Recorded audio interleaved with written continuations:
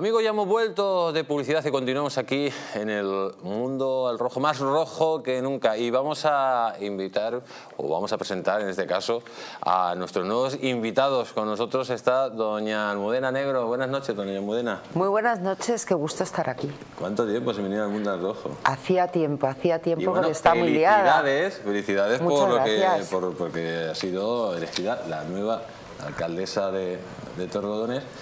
Y, estoy muy feliz también porque en su equipo está una amiga mía. Ah, sí, cuénteme quién. Sí, sí, sí. No sé si conoce usted a la mujer de don Pablo Victoria. Sí, claro que lo conozco. claro que la conozco. Además sé que ha venido por aquí a Distrito TV en varias ocasiones. Sí, sí, sí. sí.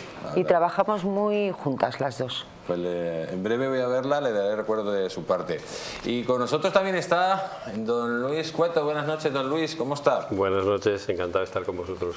¿Cómo lleva ese proyecto de a ver si es capaz de levantar a esta sociedad, a esta sociedad civil? Pues mire, como no se mueve ni, como, el título ya, ya promueve, se llama Acción Ciudadana, Acción, Ciudadana, o sea que... Pues va a tener usted que meterlo con, una, con un aguijón ante los españoles porque tienen poca acción los españoles. ¿eh? Sí, bueno, yo creo que, no sé, la gente joven se mueve más por impulsos muy concretos. El que le gusta eh, Greenpeace o el que le gusta mm, eh, el arte o el que, con cosas concretas, tangibles que vean resultados. Lo que la gente está muy harta es de los partidos políticos que es echarle un cosas concretas. Yo soy de tal cosa, yo soy de tal cosa, ¿no? Bueno, ya veremos. Pero te agradezco que me preguntes. ¿Qué? Que te agradezco que me preguntes. Nada, yo eh, voy a preguntar porque yo soy... Estoy entregado directamente a las sociedades civiles y a que la sociedad se, se mueva, amigos, porque es que un país que quiera llamarse país, pues tiene que tener una sociedad civil, tiene que estar muy fuerte para hacer de contrapeso. Claro, en septiembre te contaré cómo arrancamos. Pues esperemos, seguiremos, seguiremos, como usted está aquí invitado cuando quiera, seguiremos hablando de ello. Y vamos a conectar con el señor Galve. Buenas noches. Muy buenas noches, ¿qué tal estáis por allí? Hoy de rojo, por cierto, mira. De rojo. Estamos de rojo. Más rojo que nunca. Sí, por supuesto, hablamos de la vestimenta, obviamente. Sí, sí, sí. Eh, señor Gaule, le voy a leer una noticia que dicen que han denunciado la aparición de papeletas en contenedores de basura. Eh, se ha denunciado hoy la aparición en plena calle de documentación electoral relativa al voto por correo. En concreto, se encontró el pasado jueves en la confluencia de la calle Pingüino con paseo de Juan Carlos I a pie de los contenedores de basura. Eh, en un comunicado se ha recogido que además las papeletas eh, en el interior de una caja se encontraban sobres de votos por correo, incluso con datos personales de, la gente. Eh, lo que decía la nota sobre todo era que no sabían si esto ha sido a posteriori después de, de, las elecciones que no han sido capaces de destruir esos votos como Dios manda o ha sido a anteriori. Pero sobre todo yo quiero preguntarle a usted, porque el día 23, que estuvo usted en el programa especial que hicimos, eh, hablábamos de unos resultados muy sorprendentes, ¿no? Y sobre todo, usted como sociólogo que es, unos resultados muy dispares en el Congreso respecto al Senado. Y yo quiero que usted, como sabe de estas cosas, que nos pueda dar una explicación, porque en las elecciones de 2019, por ejemplo, el Partido Socialista con casi 1.800.000 votos que sacó el Partido Popular, en el Senado sacó 12 escaños. Y ahora el señor Fijó, sacándole en el Congreso 300.000 votos al señor Sánchez, en el Senado ha sacado prácticamente 48 senadores más. Eh, ¿Nos podría explicar esto por qué ha sucedido? Sí, eh, bueno, tú sabes que me, caracterizo por no andar por las ramas, sino hablar bastante claro. Eh, bueno, no soy sociólogo, eh, ya hubiese querido ser sociólogo, pero tengo otras profesiones diferentes más hacia la bueno, comunicación consultor político. Pero, exacto, exacto. Pero algo de sociología hemos leído. A ver, no tengo, no tengo explicaciones, tengo hipótesis, porque explicaciones requerirían pruebas, que no tenemos pruebas. Cuando uno lanza hipótesis, lo que haces es ver todas las probabilidades y todas las posibilidades. O sea, ¿qué es posible? Esto es como si investigáramos un crimen y lo primero que vemos, si hay indicios. Claro. Vale, Uno pues- tiene que ver qué, qué es posible que ocurra y qué es probable que ocurra. ¿no? Entonces, a partir de allí sacas hipótesis y hasta que no tengas pruebas no puedes demostrar la hipótesis. Eso es el método científico no de podemos toda la condenar a nadie sin pruebas contundentes de que ha cometido el asesinato. Exactamente, pero uno cuando hay un, un hecho, uno más o menos recrea el hecho y ve cuáles son los puntos vulnerables, dónde pudo haber ocurrido algo y a partir de allí investiga. ¿Dónde pudo haber ocurrido eh, cosas en estas elecciones? Porque obviamente sí, hay resultados extraños, hay cosas raras, hay cosas raras que se ven en los números, hay cosas raras que no, no nos suenan lógicos. Algunos resultados en Madrid no suenan lógicos porque entre una elección y otra no ha habido tanto tiempo para que la gente cambie de opinión. Solamente pudo haber ocurrido, y eso sería una de las hipótesis, que eh, la actuación de los partidos políticos haya hecho que se haya reactivado la participación de un sector y en el otro no. O, o incluso haya enfriado En el. Madrid, Sánchez ha, sacó- ha sacado un 65% más de voto que en las eh, autonómicas del Partido Socialista. Por ejemplo, pero Por eso ejemplo. lo podemos en extender a otras... también un 63% más que las últimas autonómicas. Esto parece el milagro de los peces y los panes, ¿no? Sí, pero como en la religión, como en la fe también, eh, siempre se le puede buscar una explicación, ¿no? Uno puede decir, mira, es que en la selección... Hay, un fenómeno que yo hablé en tu programa, por cierto, un saludo y mi enhorabuena a Almudena, que he coincidido con ella en algún programa. Em, Gracias, Javier. un abrazo, Almudena.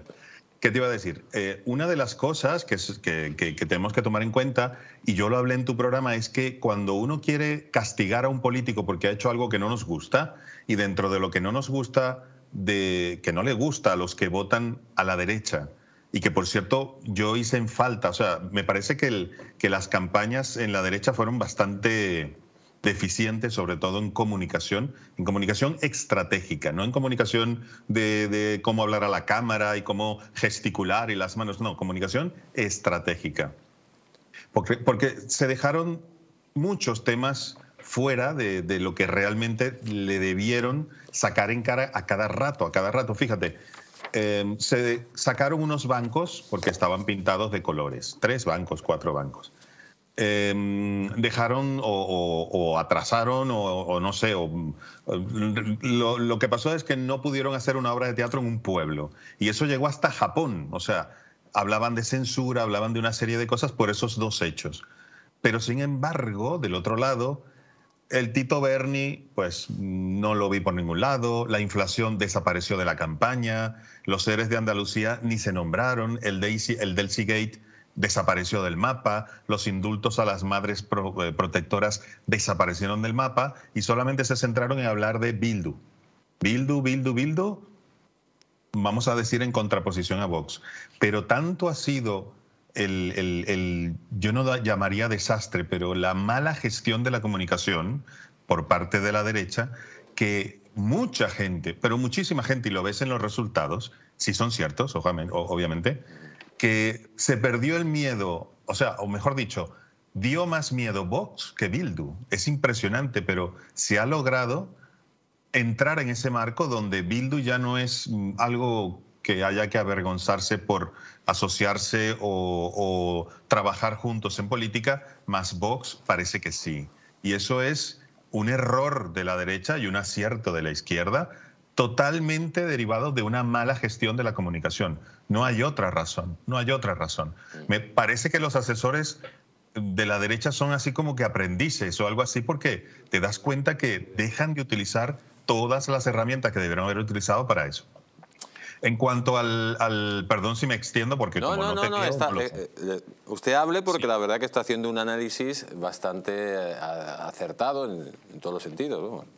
Sí, sí. Y entonces, ¿qué puede haber ocurrido? Que, bueno, en las elecciones, el- y lo dije en un programa tuyo antes de las elecciones, dije, cuidado, y, y está ahí, está grabado, lo puedes revisar, cuidado porque mucha gente cuando quiere castigar a un político, le vota en contra una vez, o sea, lo castiga una vez, lo manda al rincón de pensar una vez, pero luego ya considera que lo castigó. Y yo dije, oye, cuidado porque en las elecciones eh, municipales y todo lo demás, mucha gente pudo haber sentido que ya castigó a Pedro Sánchez y a partir de ese momento ya como que empezamos de nuevo, ya, ya le diste el castigo, pues vamos a empezar de nuevo. Y hay un problema muy importante que no he visto que se hable mucho de esto y que yo creo que llama a la, a la reflexión, y es que el hecho de que Pedro Sánchez haya conseguido el resultado que ha conseguido y lo que puede conseguir a partir de hoy, vamos a decir que le perdona absolutamente todo lo que hizo antes. ¿A qué me refiero? Si Pedro Sánchez quiere repetir una de las cosas que hizo antes, de las cuales la derecha tuvo que haber aprovechado en, la, en las elecciones y no aprovechó, ya sabe que haciendo eso no le van a castigar. O sea, él vuelve a pactar con Bildu, ya sabe que no tiene castigo. Vuelve, ¿Por qué? Porque ya pasó por el filtro de las elecciones. Para que vuelva a recibir un castigo por parte de la izquierda o de la derecha, sobre todo de la izquierda, tendría que cometer algo nuevo, superior, más grande. Pero ya todo lo demás ha sido perdonado. Se ha confesado y ha tenido el perdón por parte de sus seguidores y de algunos seguidores, me imagino, de la, de la abstención, etcétera. Y eso es un problema complejo porque ya la, la línea de, de, tolerancia que tenía la sociedad se ha subido, sobre todo con respecto a la izquierda. Respecto a la derecha, lo contrario. O sea, le castigan el pactar con el socio de la derecha, le castigan el retirar algunos bancos porque estaban pintados de unos colores, le castigan, solamente eso se ha magnificado de una manera tal que, claro, el, político de derechas, cuando digo derechas digo toda la derecha, desde el 5 hasta el 10, pues eh, empieza a tener autocensura, se autocensura. Mejor no hablo de esto, mejor no hablo de esto, mejor no hablo de esto, y pasa lo que pasa. Y eso es falta de una gente que los asesore. Javier, pero no me ha explicado el milagro de los peces y los y los panes. sí, te estoy hablando las hipótesis.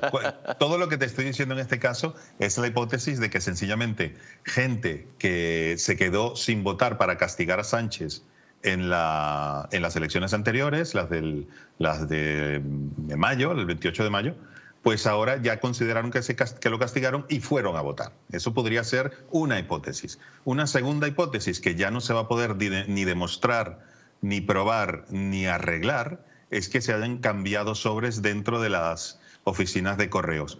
Complicado, sí, es muy complicado porque no es una oficina ni un sitio, son varios. Pero eso es una situación de la policía, de la seguridad, de los cuerpos y fuerzas de seguridad del Estado que se debió haber hecho antes en ese momento.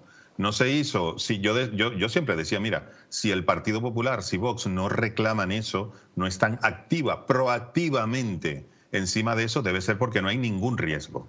Entonces yo dije, porque yo soy un Mindundi, yo soy el que menos puede saber de eso. Entonces, ese punto, que es un punto donde cabría otra hipótesis, siendo sencillamente mm, totalmente objetivo, ¿no? no dejándome decir, es que perdimos, ganamos, ni un lado ni otro. Quiero decir, a mí me llaman de Estados Unidos que venga para aquí a investigar qué ha pasado y digo, mira, punto vulnerable, el primero que dije, de que pudo haber sido realmente que muchos votantes que no votaron en las, el 28M ya castigaron y se levantaron. Segunda hipótesis, cambiaron sobres, dieron un cambiazo de sobres. Si no se pillan infraganti, se acabó. O sea, eso quedó así porque el voto, el sobre, no dice el nombre de la persona, ni el DNI, ni nada. O sea, es sacar un sobre y meter otro. Eso puede ser un punto vulnerable.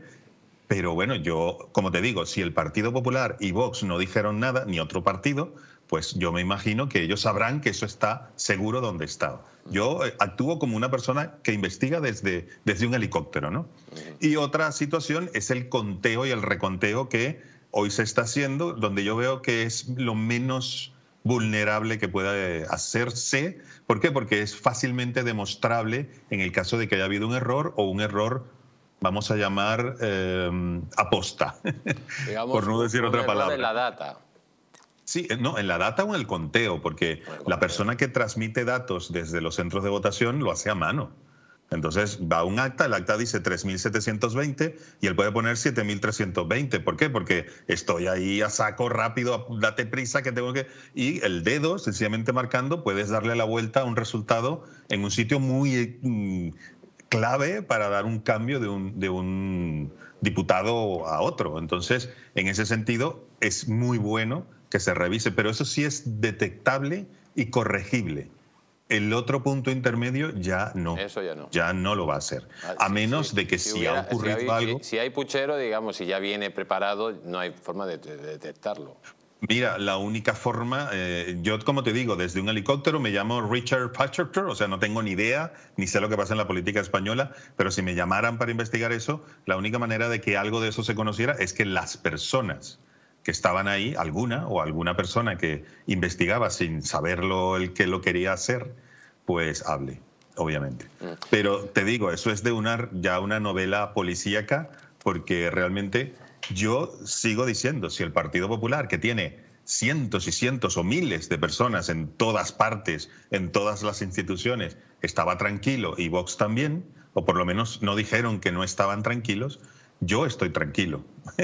no puedo decir otra cosa. No, no, si se le nota que está hago- usted muy tranquilo. Bueno, ¿qué te voy a decir? No, se ha no se puesto juega hasta de rojo para salir hoy en el programa. Sí, yo estoy un poco preocupado, pero por lo por la situación en que queda el país a nivel político, que no es la mejor, ni mucho menos, y aparte en uno de los peores momentos en Europa y, y- En y, están pasando cosas. A partir de ese punto... No, eso en usted ya, don Javier. Dime. Que termine ya, porque vamos a... Sí, ya estoy terminando. Sencillamente decirte que a partir de este momento las cosas que se hicieron, se hicieron y es- va a ser muy difícil probar. Posiblemente salgan cositas como lo que salió en, las- en las otras elecciones, lo de Ceuta o Melilla, y, pero eso no cambia ningún resultado. Yo lo que le quiero decir a la gente es que presionen a sus políticos para que realmente estén muy al loro de todo, de todo lo que ocurre y que se pongan las pilas porque esto es, como decía un- una persona, la más importante que ha estado aquí en la Tierra, hay que ser mansos como palomas, pero astutos como serpientes. Es importante. Pues, eh, Muchas gracias. Voy, voy a tomar, voy a tomar nota, me parece una frase excepcional. Eso lo dijo Jesús de Nazaret, Sí, no lo he sí, dicho por yo. supuesto. Eh, el Hijo del O sea que esa frase está aprobadísima, aprobadísima. Hay que ser mansos pero astutos. Por algo él lo decía. Mm. Por algo, por algo. Sobre todo cuando el demonio está cerca. Cuídese mucho, señor. Un abrazo muy fuerte a todos. Gaule, cuídese mucho. Hasta luego. Y le veremos pronto por aquí. Si Dios quiere. Eh, y nada, aquí vamos a pedir la opinión de nuestros invitados. Querida alcaldesa, ¿qué opina usted de todo lo que se ha proyectado? Uf, de en todo. esta opinión? Pues Bueno, de, todo, de las cosas que... Lo primero que quería decir y dejar claro es que el sistema electoral español es absolutamente seguro.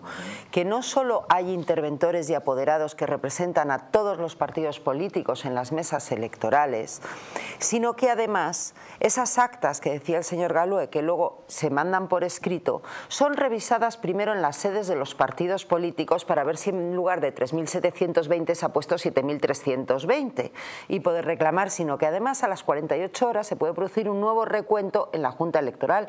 Así, por ejemplo, el Partido Popular en las elecciones generales del 19 recuperó el diputado por Álava a las 48 horas en ese recuento.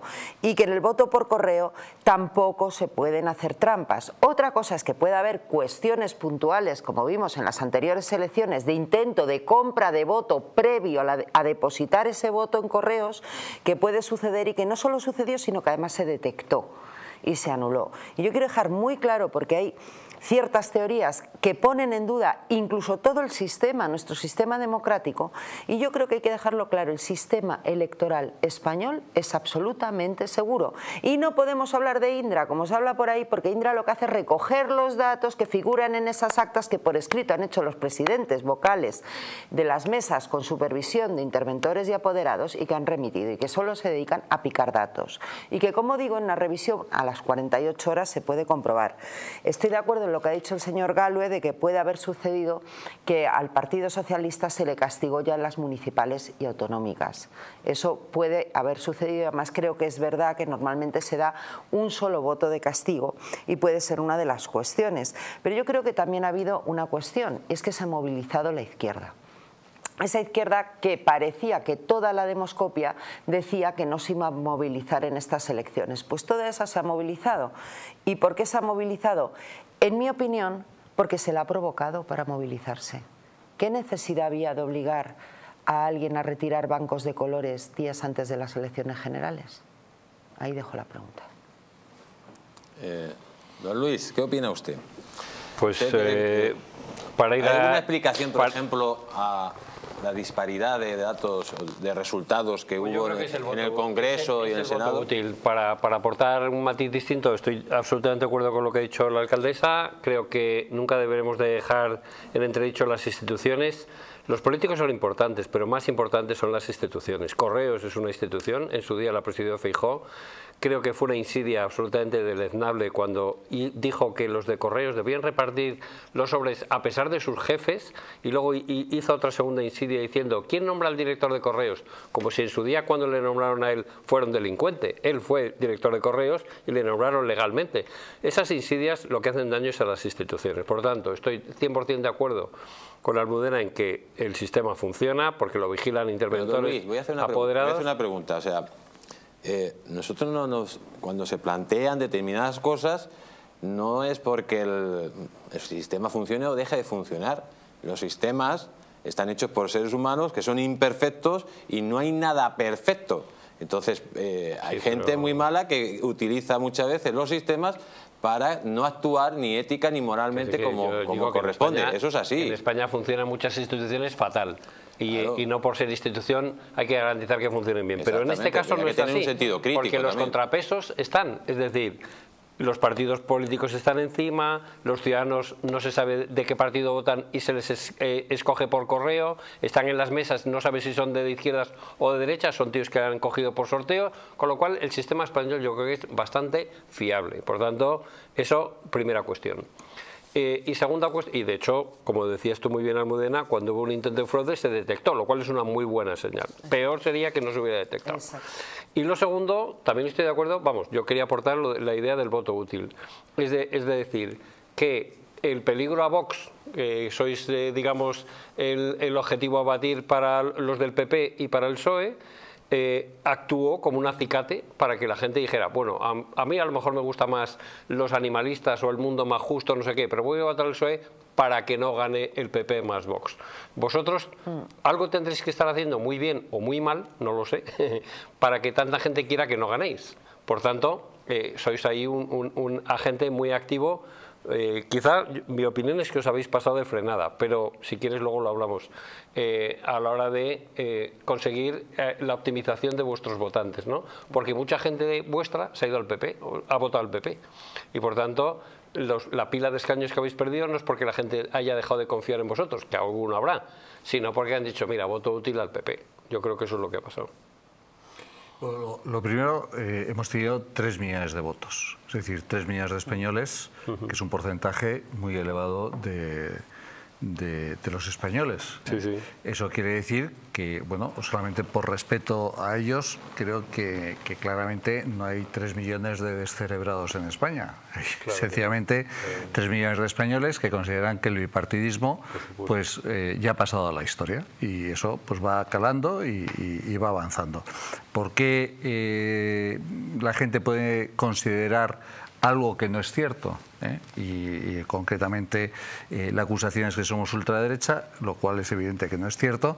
¿Pero por qué lo puede creer? Pues sencillamente por la máxima eh, marxista de Stalin, que decía, o de Lenin, perdón, que decía que una mentira repetida mil veces se convierte en una verdad cuando no hay posibilidad porque no hay una posibilidad mediática eh, a la altura en la que se pueda decir, oiga, lo que usted está diciendo es falso por esto, por esto y por esto. Entonces, cuando uno no tiene la capacidad de respuesta porque se nos niega eh, esa- ese acceso a los medios de comunicación, pues entonces es muy difícil y las acusaciones, pues evidentemente, aunque son falsas, pero, pero ahí están.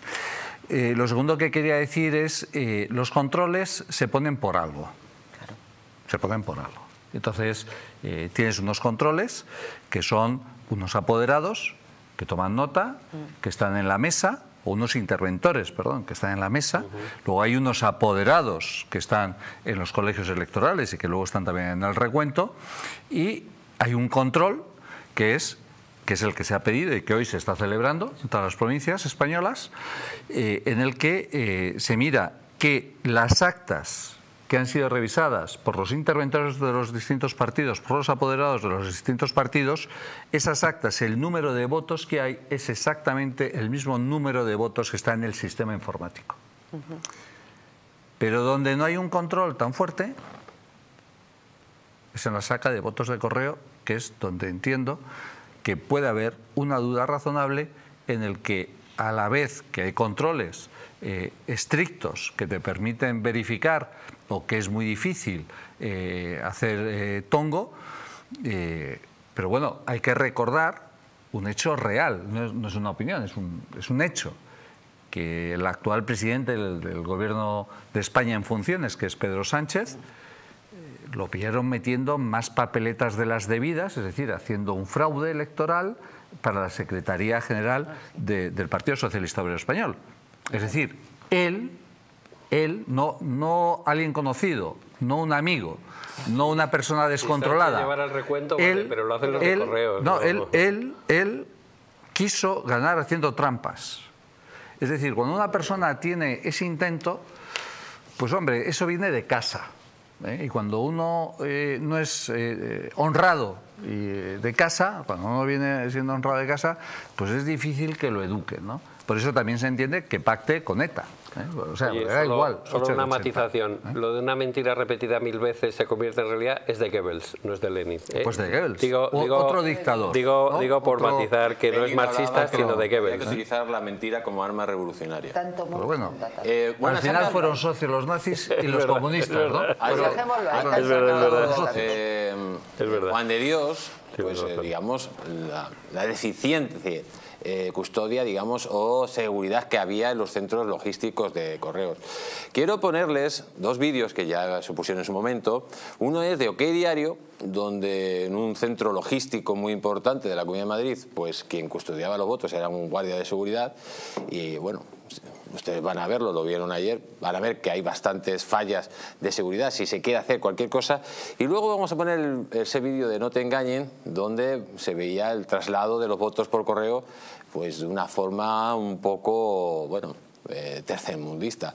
Vamos a ver el primer vídeo de OK Diario y luego veremos el siguiente.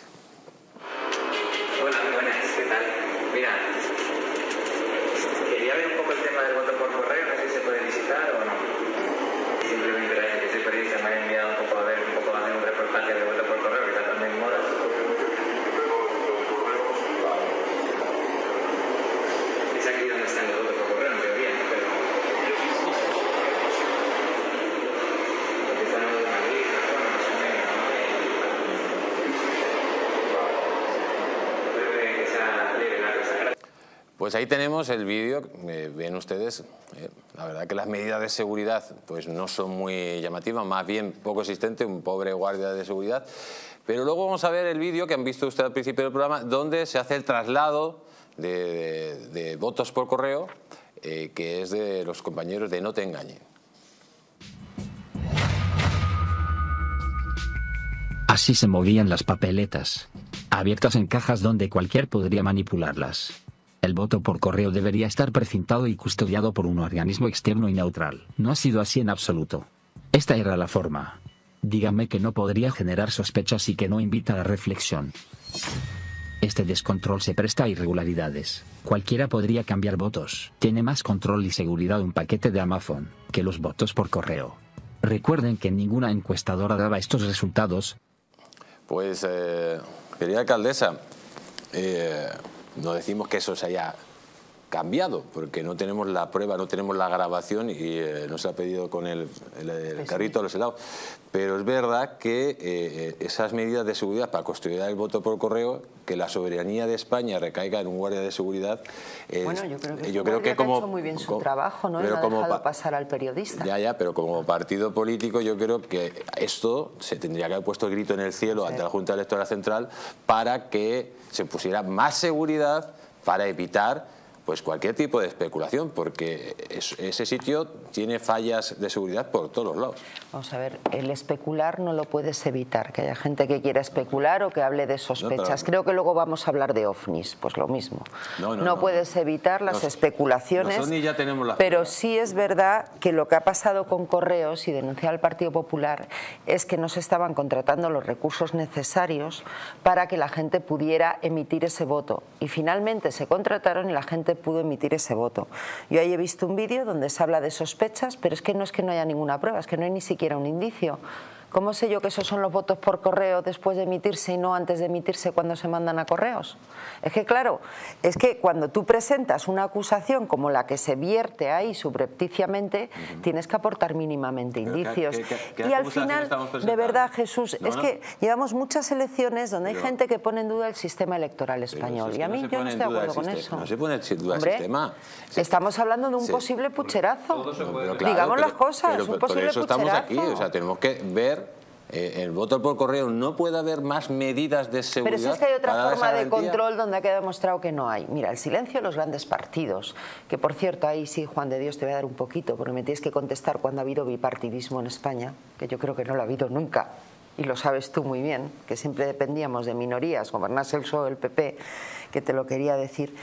Lo que hemos visto en estos vídeos y en estas sospechas es que se está diciendo que se pueden cambiar votos. No se aporta ninguna prueba y al final lo que haces es debilitar las instituciones.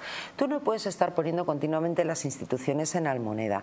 Es más, lo que denunció el Partido Popular fue precisamente que no se estaba contratando a gente de correos para que esa gente que no podía votar, acordaros que a las 24 horas quedan 200 y pico mil personas que no les había llegado el voto que finalmente llegó. Y yo creo que además la Junta Electoral reforzó muy bien las elecciones porque exigió por primera vez que cuando te llevan al voto, al hotel, a tu casa de vacaciones, a donde a ti te dé la gana, te pedían el DNI y luego nadie podía votar tampoco por ti. Acordaos que el fraude en el voto por correo que vimos en las elecciones anteriores era porque podías votar por otros. Entonces te compraban el voto. Eso ya no podía suceder en estas elecciones. ¿Que pueden suceder cosas puntuales? Pues por supuesto que pueden Entonces, ¿cómo explica usted que eh, mm, sociométricamente que el señor Sánchez saque un 65 más eh, por ciento de votos en Pero Madrid vamos a ver. que hace dos meses. En los primero, porque no se vota igual en municipales autonómicas que en europeas que en nacionales. Y segundo, porque si hubiese cualquier sospecha de fraude, los partidos, sobre todo los grandes, tienen un histórico de las votaciones de desde 1977. Es la primera vez que la Junta Electoral va a revisar las actas. Si en Torrelodones hubiese ganado el PSOE, que tiene un concejal desde hace 12 años, el Partido Popular estaría poniendo el grito en el cielo. ¿Me entiendes? Los partidos grandes tienen un histórico de votos y también saben las desviaciones que se pueden producir. Cuando ha ganado el PSOE y cuando ha ganado el PP el las Ha, perdido las elecciones porque se han quedado 3.000 votos. Ah, 37. no, 3.000 votos postales en el limbo. Sí, sí. Y ha perdido por 42. Por 37 creo que se Por 37. si no recuerdo mal, por 37 votos no tenemos alcalde. Yo, por ejemplo, a mí me han sacado del censo electoral a mí me han sacado, ¿Y por qué no ha reclamado usted en yo lo, he reclamado y no me han vuelto a meter. Pero, ha habido mucha gente también que eh, le ha llegado, gente que les han empadronado en sus viviendas, multitud de gente, o sea, aquí ha pasado cosas muy extrañas. Vamos a ver, que pasan cosas, pasan en todo. yo, creo que de lo que y luego Pedro Sánchez tiene unos antecedentes que no, es un tipo, un, un tipo que, que, ha hecho lo que ha hecho, pues lógicamente eh, queda sospecha. Yo, creo que de lo que estamos hablando aquí es que la cadena de custodia es muy mejorable y genera dudas. la, la cadena de custodia, lo mismo que la cadena de custodia, unas pruebas judiciales son fundamentales y si esa cadena se rompe, esa prueba queda invalidada automáticamente porque no puedo demostrar no me puedo creer que me vayáis a hacer defender a Pedro Sánchez. No, yo, no estoy defendiendo a Pedro Sánchez. Lo que, lo que estoy defendiendo es que hay que mejorar siempre los controles precisamente para evitar esto. Y entonces lo que estoy hablando es que hay unos controles sensiblemente muy mejorables. Lo segundo que quiero decir es que ha habido cosas tan raras como que es la primera vez que yo recuerde, no quiere decir, oye, que a lo mejor hay otras y me la tengo que envainar en la que han fallado las encuestas a pie de urna. O sea, las encuestas de pie de urna, es decir, que salía la persona y decía, oiga, ¿usted qué vota? Y, tienen una selección de... Han fallado. Han fallado. Han fallado. Pero no habrá, han fallado. Y, bueno, y sobre todo lo que sospecha es que Tezanos haya acertado casi no, los votos es como lo, del PSOE, vamos. Que acierte es como, que, es como ver un extraterrestre, ¿no? no o sea, claro. Tiene que ver con que jamás se votó tanto por correo al ser en vacaciones y había un montón de gente que no le que la encuesta pide una no era tan fiable como otras veces. No, pero ya lo tenían, ya lo tenían en cuenta eso, ¿eh? Pues ya lo tenían en cuenta. Son no, no lo sé, porque en la encuesta no porque puedes el sondeo hacer. a pie de urna te preguntan a la salida del Claro. colegio No, pero a lo de que habían votado por correo ya tenían encuestas a la gente Sí, que había pero si votado no por correo. preguntas Ya. no pueden entrar en el sondeo Pero- a pie de urna, porque el sondeo a pie de urna la pregunta es qué acaba de votar usted. Sí. Sí, sí, pero que ya lo tenían en cuenta Ah, precisamente Yo, en eso. por resumir lo que decís, estoy de acuerdo contigo, sin que sirva de precedente. Creo que, creo que que se pueden mejorar los. eh, O sea, lo Sí, mismo que se mejoró lo del DNI para que no te roben el voto, eh, y eso ha sido una mejora. Ah, Sí. tiene, tiene razón, Juan de Dios. Sí, la sí, custodia sí. de eso se prescinde, pues sí, claro Pues que sí. sí, se Todo puede es mejorable. mejorar, ahora pero bien, no poner en duda ahora el bien, yo no pongo en duda Claro. que el PP ha hecho ningún pucherazo y ha ganado las elecciones, ni que el PSOE haya mejorado sus elecciones, sus diputados, porque hayan hecho Y eso no pucherazos. se puede afirmar hasta que no haya una prueba. No, pero, pero la sí insidia ya es suficientemente. Pero la insidia ya es suficientemente ruido como para decir, si no tienes ni idea, cállate, porque lo otro es simplemente maledicencia. No hay más. No, pero sí hay indicios de, No, de- de- no hay de indicios. algo ¿Dónde hay raro ha pasado. No hay ningún indicio. O sea, un cambio tan radical en, en el No, voto. pues hoy, hoy cuando el PP perdió y pasó de ciento no sé cuánto a Y 63, cuando, y cuando Aznar pero, sacó mayoría absoluta en el 2000 y será no lo esperaba nadie, Sí, y cuando pero ahí hubo un Zapatero gana las elecciones del un atentado 2004, haciendo Un 22 muertos. 11M, Ahí hubo claro. un y cuando yo gano en 22 muertos. Torrelodones. Pero eso sí se esperaba. Ahí hubo, ahí hubo, Así de claro ahí hubo un atentado con, esperaba que ciento, ganara. con 192 Claro, pero muertos. nadie se lo cuando. Eh, o cuando que Podemos, muchas Sí, pero dudas cuando nadie- Podemos sube a no sé cuántos diputados y luego se pega un batacazo, cuando Ciudadanos pasa de Exacto. 40 a 10. Bueno, que de- Don Juan de Dios, ponga los orden. electores, los Bueno, electores yo- son soberanos. Yo, creo que los controles se ponen por algo, es decir, porque la posibilidad existe. Sí, claro que es sí. decir, Claro si no hiciese falta ¿no? claro. eh, un auditor, pues, o sea, porque no se pueden falsificar las cuentas de una empresa, pues no haría falta auditores, ¿no? Si, si, en la, si en la administración pública no fuese posible que alguien utilizase incorrectamente los fondos, pues no haría falta el Tribunal de Cuentas, ¿no? Eh, es decir, los controles se ponen cuando hay posibilidad de fraude. Yo lo que digo es que la cadena de custodia de los votos por correo, que lo hemos visto, mejorar. no están precintados. Sí, sí, es verdad. Y si lo controla en una nave un guarda jurado, pues a mí no me parece Ya, que sea pero muy sólido, Mañana, que, mañana que sea, que sea muy sólido. Y ¿quién puso el que sea, que muy sólido. Que sea muy sólido. Pero el que se pueda mejorar es sencillamente porque se puede producir un acto, Claro. un acto delictivo. Entonces, la única manera de quitar ese ruido de que se haya podido producir una manipulación En las es próximas- cuando tú eh, cuidas realmente poner el control. ¿Y cuándo pones realmente el control? Una persona que es honrada y dice, oye, yo quiero dejar claramente constancia porque pongo y refuerzo los controles, y son controles que pueden ser verificables, entonces tú demuestras, oye, esta persona, eh, hombre, si está poniendo los controles, los está haciendo eh, controles fuertes y son verificables, pues claramente, oye, eso ¿ha pasado eso? No ha pasado eso. Sencillamente, Estoy de acuerdo. sencillamente, sencillamente. Estoy de acuerdo que se refuercen los controles en las próximas Sí. elecciones, igual que esta vez se cambió lo del DNI. Pero ¿por qué se tienen que reforzar? Porque puede haber un acto Pues sí. delictivo. Porque el mal existe. Pues a eso voy. Y Entonces se preci- y generan las dudas, democracias se basan en generan el dudas razonables cuando Claro. hay alguien que además en Pero- un momento dado Y pon lo ha controles, hecho. no ¿eh? Pero también, lo ha hecho. también en el voto por correo en las autonómicas y municipales que ganó eh, un montón de puestos Vox y el PP, podríamos haber dicho, seguro que hubo fraude en esas elecciones. O no. Quiero decir, Se, se tuvieron dos eh, Sí, grandes cuatro, fraudes, cuatro- el de cuatro Melilla y pero- y en otro pero- lado. Sí, Que, pero el cierto, resto nadie ha puesto en cuestión Exacto. que los Sí, votos sí. por correos que ganaron Vox las Y- elecciones y- en no sé y- qué y ayuntamientos. el- o sea, no, y no, el control no se reforzó gracias a Vox. no. No, pero sí, yo, yo lo primero que he dicho es que no se puede poner así en duda el sistema porque no hay ni siquiera indicios. Puede haber sospechas.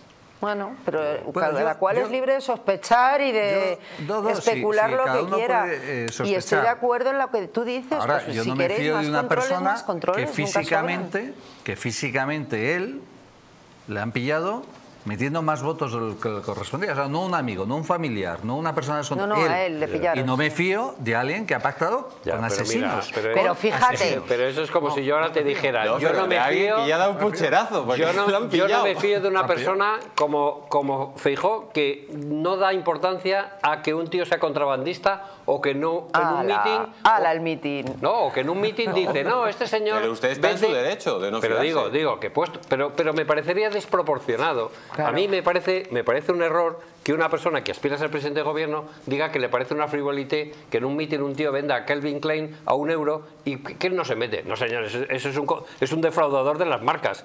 Los tíos de los comercios dirán, pero este señor quiere ser presidente de gobierno. Pero, ¿qué tiene que ver eso? ¿Qué tiene que ver con que un tío en las elecciones del PSOE... lo sacas, ¿qué tiene que, digo, porque son comportamientos... del crimen, que son comportamientos que, que, Pedro Sánchez de sus primarias... Lo ha sacado, os lo voy a explicar yo. En realidad es una crítica a Podemos, porque la legislatura pasada tenía el señor que organiza toda esa venta de Calvin Klein en la Asamblea de Madrid. ¿A ¿Ah, que sí, Luis? no sé. Ah, no, no, que no. Ni idea. Sí, hombre, el mantero de Podemos. El jefe. Pues, pues no lo sé. Digo yo. No, bueno, vamos a ver, yo estoy de acuerdo en lo de los controles, ya lo he dicho, por supuesto. Y además la democracia se basa también en los controles, es fundamental.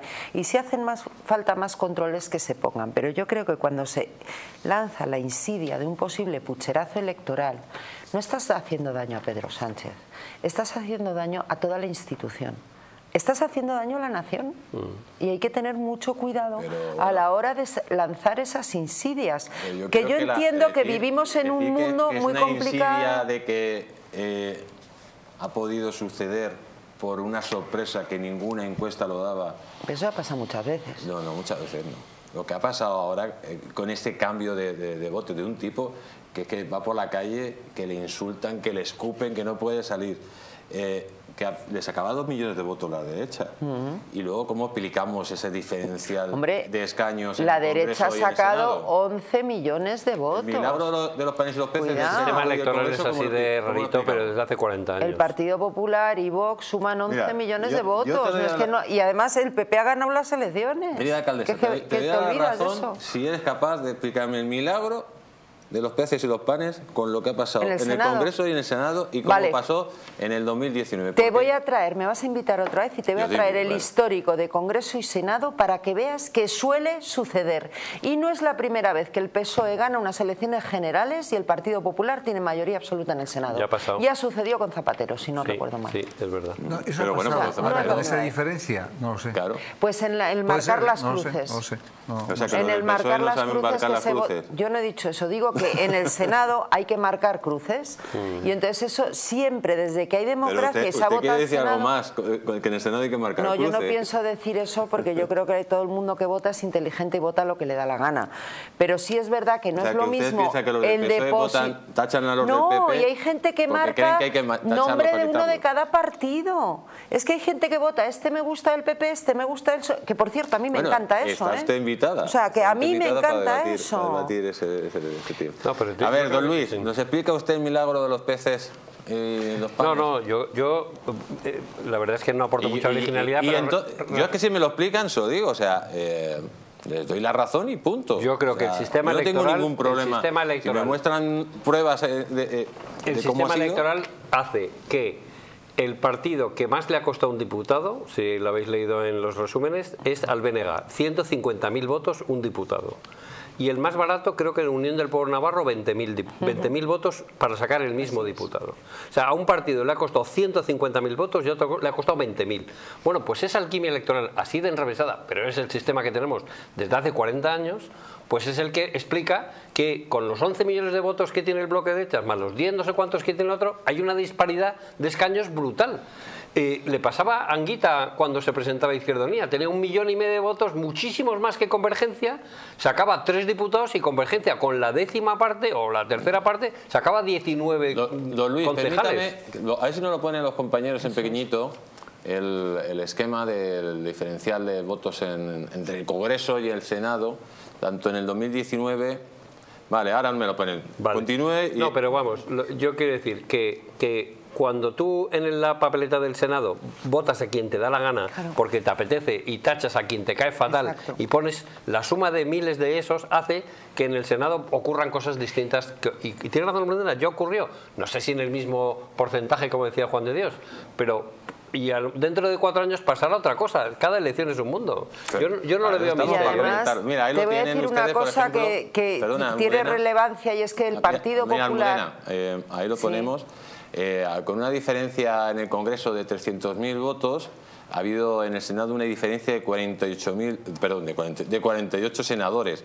Eso en el año 2023. En el 2019, a ver si no lo ponen, eh, con casi una diferencia de 1.800.000 votos a favor del PSOE, solo hay una diferencia de 12.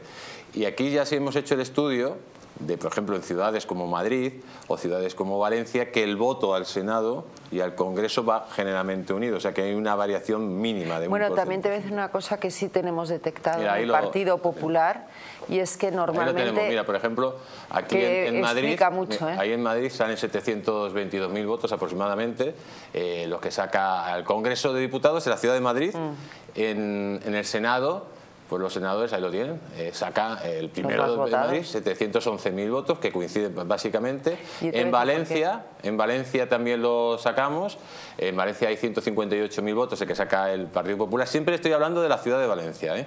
Eh, y ah, en el Senado pues lo ven ustedes, los votos que hubo en la ciudad de Valencia son 168.000, me va a hacer 162.000. Te cuento una cosa.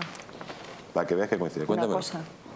Nosotros sabemos que mucha gente, por eso nosotros cuando estamos en los colegios electorales no miramos cómo bajan las papeletas en la mesa, porque los que votan al Partido Popular mucha gente trae la papeleta de casa. Igual esa es una explicación.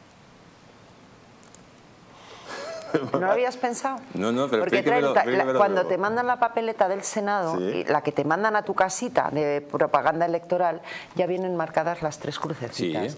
Y la gente del Partido Popular, de verdad, lo sabemos. Mira, en Torrelodones en las elecciones a mí me decían apoderados, que no bajan nuestras papeletas. ¿Y qué les decíamos? Es que los nuestros las traen de casa. Pero, Quizá por eso coincide el voto al Congreso con el voto al Senado. Yo le voy a decir por qué los, los vuestros la traen de casa porque eh, generalmente ¿eh? la labor que hacen los, los apoderados de, la izquierda es mucho más proactiva y la gente del Partido Popular eh, no quieren que, que, le influyan en nada y van con su papeleta. Pero es que ahí te explicas por qué coincide muchas veces el voto del PP en Congreso y Senado.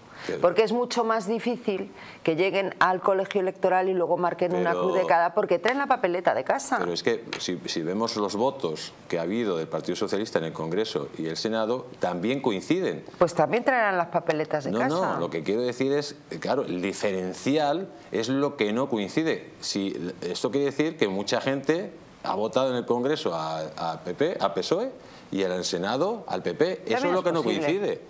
También es posible, yo hablo de A no ser que hagamos el milagro de los panes y los peces, pero claro, yo, yo simplemente doy datos.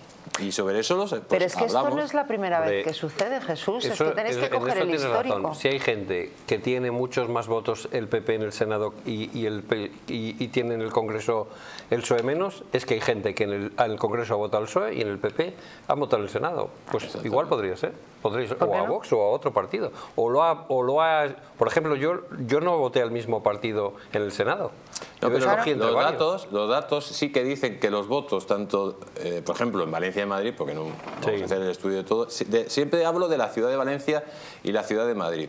A ver si no lo ponen de nuevo y lo Pero hay que traer un histórico más atrasado, o sea, no solo compararlo pero, con las últimas. Pero a ver si uno pone los votos, de, ahí los tenemos. Eh, por ejemplo, esos son los votos a Valencia, en el Congreso, los que, en la ciudad de Valencia. 158.000 y el Partido Socialista 127.000. Ah, 27. Aproximadamente. póngame los votos al Senado en Valencia. El Partido Popular coincide 162.000 y el Partido Socialista coincide también aproximadamente. Sí, 136, 136. o sea, que no es que hayan votado unos al Congreso y otros al Senado. Esa es la explicación que... Hay gente que, no les votó en el Congreso y les ha votado en el Senado, al PSOE, por ejemplo, en Valencia. Es el caso que nos has puesto. ¿Por qué? Porque son y por ejemplo, pero, ahí tienes que hacer una, comparación. un porcentaje mínimo. Sí, sí. Pero coincide generalmente el voto a uno y a otro. Es que no tiene nada que ver el recuento en el Senado con el recuento en el Congreso. Bueno, les voy a dar a todos ustedes... Que por cierto, vuelvo a decirlo, me encanta lo del Senado. ¿Tienen algunos de ustedes problemas con el colesterol? No. tienen, pues si ustedes amigos que nos están viendo, pues si tienen problemas con el colesterol, le vamos a recomendar Divecol. El principal riesgo de tener alto el colesterol son las enfermedades cardiovasculares. Hay ciertos factores que aumentan el riesgo de padecerlas. Algunos no son modificables como nuestra edad o los antecedentes familiares, pero en otros sí podemos actuar, por ejemplo, una vida saludable o realizar ejercicio con regularidad. Divecol Forte de Mundo Natural es un complemento alimenticio que incorpora coenzima Q10, el extracto de cardo mariano, así como la levadura de arroz rojo y también citoesteroles vegetales concentrados que contribuyen a mantener niveles normales de colesterol sanguíneo. Divecol Forte de Mundo Natural de venta en parafarmacias, tiendas especializadas o llamando al 914460000 o en parafarmaciamundonatural.es. Y amigos, nos vamos a publicidad y vamos a hablar del voto cera de ese recuento que se está haciendo, más de 200.000 votos, aproximadamente un 10% del total del censo de la gente que reside en el extranjero, y se está en lucha, está en lucha pues aproximadamente entre 3 y 9 escaños que pueden cambiar de manos. Vamos a ver cómo estos escaños pueden influenciar en la próxima composición del Congreso de Diputados y en la formación de un gobierno. Veremos ¿eh? veremos si ese voto va a ser decisivo o no es decisivo, si ya está todo el pescado vendido. Todo esto lo vamos a ver después de la publicidad. Y además, amigos, con una buena noticia, porque la Junta Electoral Central ha dicho que se cuente todos los votos uno a uno junto a las actas que se dieron el 23 de julio. Después de publicidad lo contamos todo.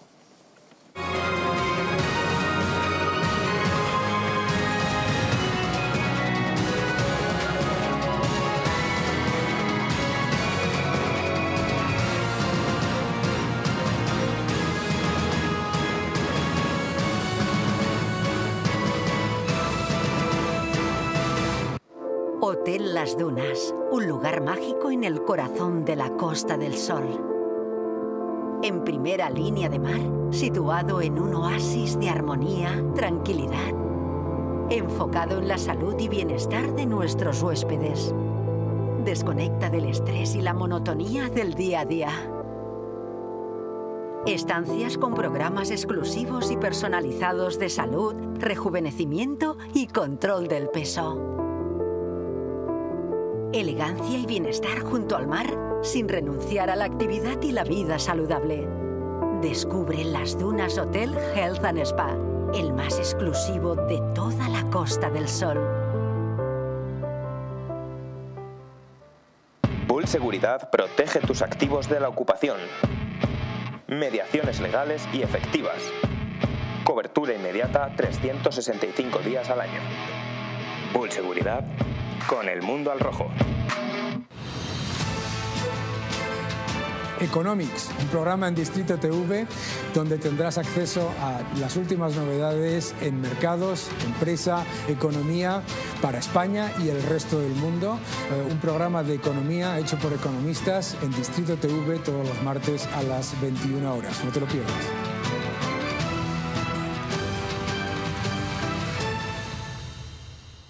Naturhaus es el mejor método para perder peso de forma saludable y sin pasar hambre.